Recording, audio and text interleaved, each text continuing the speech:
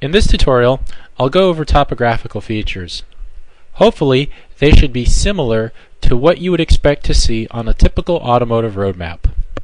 The first symbol listed is for road and road markers, which is given by the solid single in double gray lines with a numbered badge to represent the name of the road.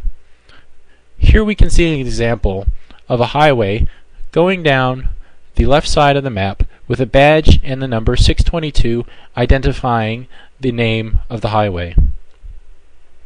Next we have the railroad track symbol, which is given by a black solid line with evenly spaced tick marks for railroad ties. We can see an example of the railroad going around the town of Gainesboro on the bottom of the chart here.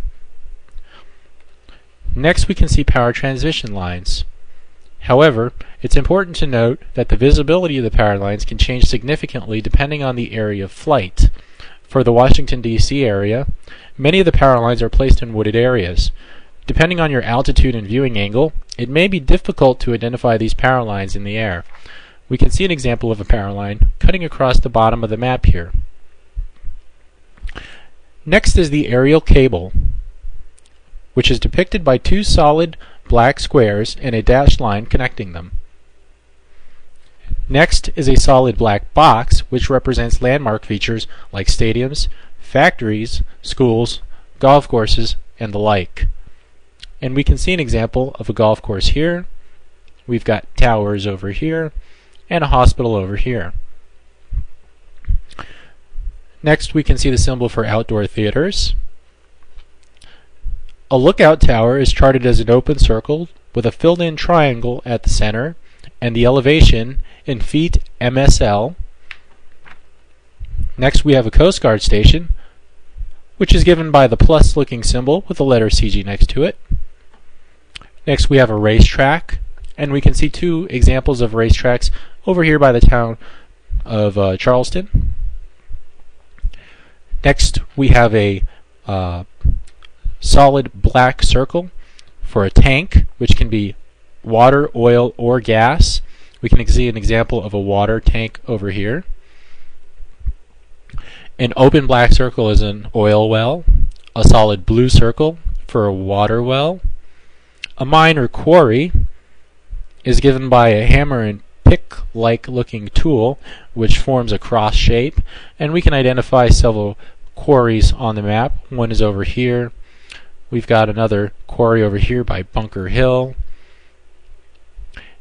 Next we have a mountain pass, which is depicted by two black lines with an elevation next to it in feet MSL. And if we look at the footnote, we can see that it says the pass symbol does not indicate a recommended route of flight or direction of flight, and pass elevation does not indicate a recommended clearance altitude and clearance altitude is particularly important for VFR flights.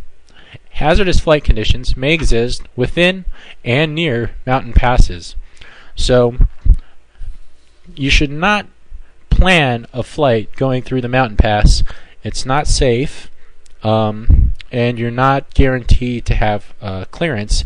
And this is particularly important if the weather starts to get marginal and your visibility goes down. So, be very, very cautious of this.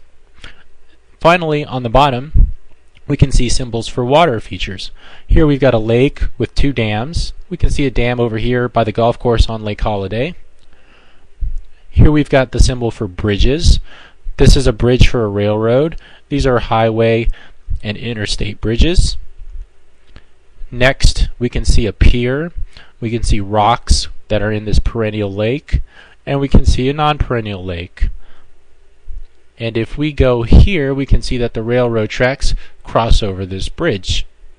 So hopefully this gives you an idea of the topographical features. Most of them should again be familiar. Uh, nothing too complicated here. And that's that.